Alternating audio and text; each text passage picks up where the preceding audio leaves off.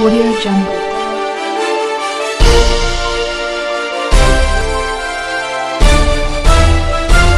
Audio Jungle.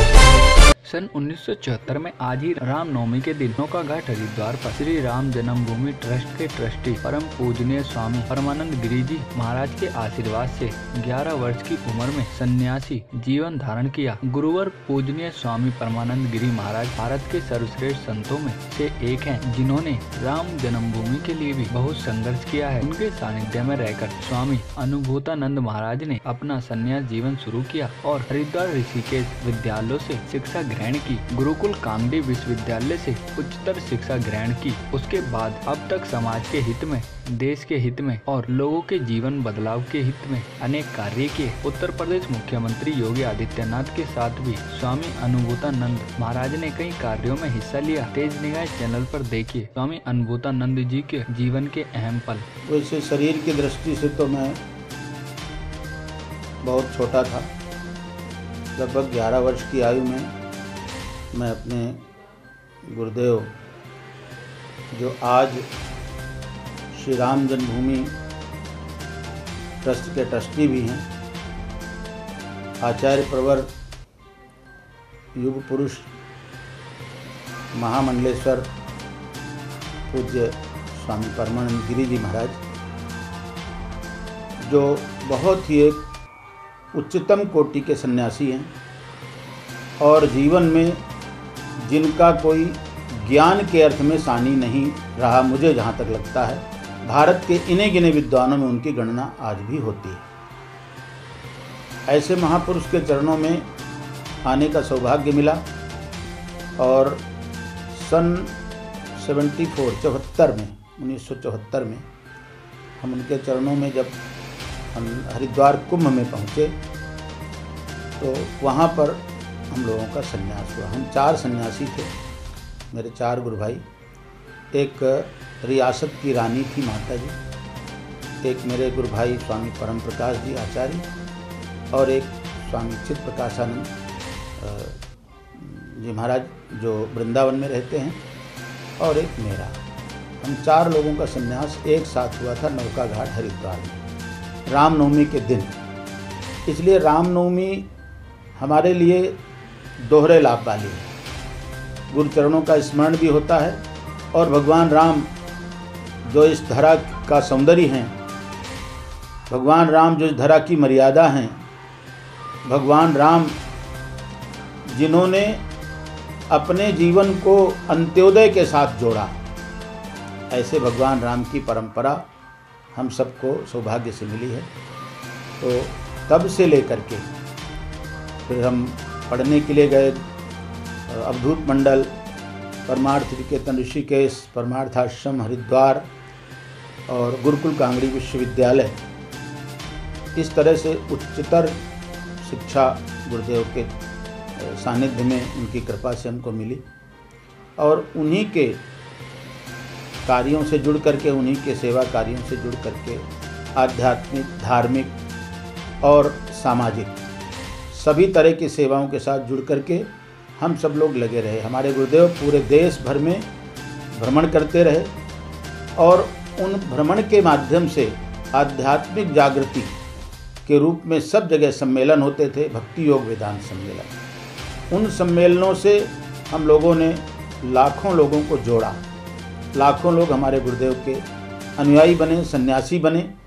और सबने मिल करके अध्यात्म जगत में गुरुदेव के पदचिन्हों पर चलकर काम किया। उनमें हमारी गुरु बहन साध्वी रितंभरा जी भी हैं, जिन्होंने वात्सल्य ग्राम वृंदावन में बनाया हुआ है, और बहुत सारी संस्थाओं का निर्माण हुआ तो यहाँ दिल्ली में अखंड परमधाम, चित्रकूट में, वृंदावन में उज्जैन में हमारे महामंडलेश्वर पूज्य स्वामी शांति स्वरूपानंद जी महाराज रहते हैं। वो देखते हैं इंदौर में। तो ऐसे करके जगह जगह बहुत संस्थाओं का स्थापन हुआ। गौशालाएँ बनी, अन्न क्षेत्र खुले।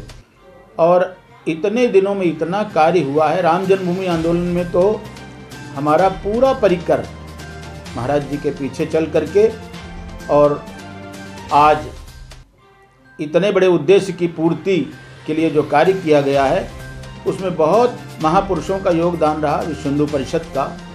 और उसके साथ साथ जो पूज्य स्वामी रामदेव जी महाराज जो अखिल भारतीय संत समिति के मुख्य रहे, जिन्होंने अखिल भारतीय संत समिति खड़ी की, हमारे महंत नृत्य गोपाल दास जी महाराज और पूज्य योगी आदित्यनाथ जी महाराज जी के गुरुदेव और पूज्य स्वामी परमहंस दास जी महाराज अयोध्या के। ऐसे करके और हमारे आदरणीय हिंदू हृदय सम्राट अशोक सिंगल जी ये सभी लोग इस बहुत बड़े कार्य में लग करके देश में हिंदू जागरण हुआ। राम जी की महिमा को लोगों ने समझा और अवध में जो 500 वर्षों से लगातार युद्ध की, विभीषिका की तरह युद्ध हुए और हमारे लाखों कार्यकर्ताओं ने बलिदान दिया, हमारे कार सेवकों ने बलिदान दिया। उस बलिदान का आज परिणाम हुआ कि कोर्ट के माध्यम से हमको श्री राम जन्मभूमि, रामलला का स्थान उपलब्ध हो गया। और अब भगवान का दिव्य भव्य मंदिर बनने वाला है। तो हम सभी देशवासी उत्साहित हैं और आज रामनवमी भी है।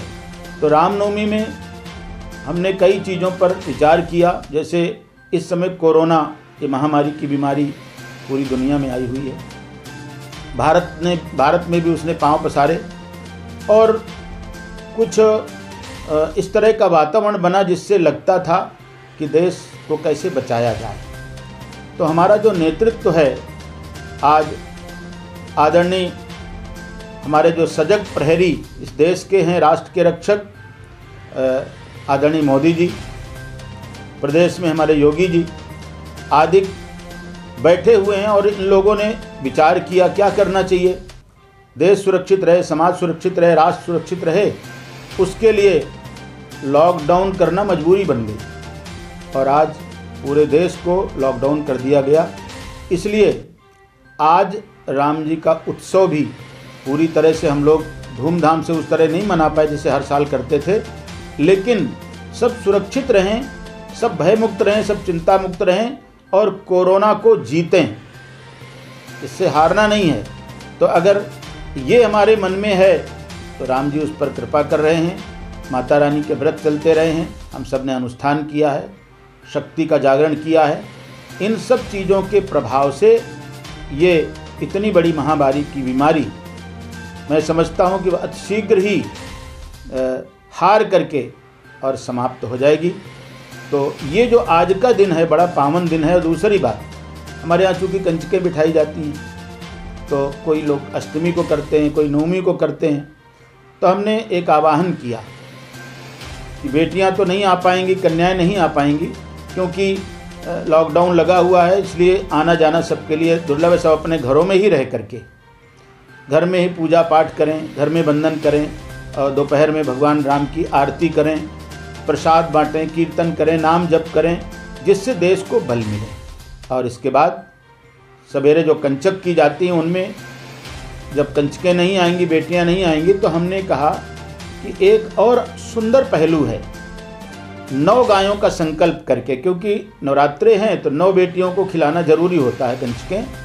तो नौ गायों का संकल्प करके कुछ भी राशि निकाल करके, चारा के लिए, घास के लिए, भूसा के लिए, बाट के लिए, या जो सवामनी वगैरह करते हैं, इस तरह से सोच करके गायों के लिए इतना करें वही पुण्य मिलेगा